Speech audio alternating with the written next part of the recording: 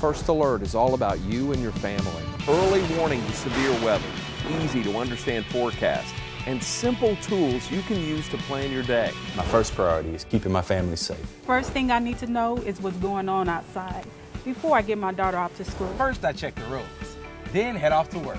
Alerting you first. I always check the temperatures first before I go for a walk. Everything you need to know first. First Alert Weather on WMC Action News 5.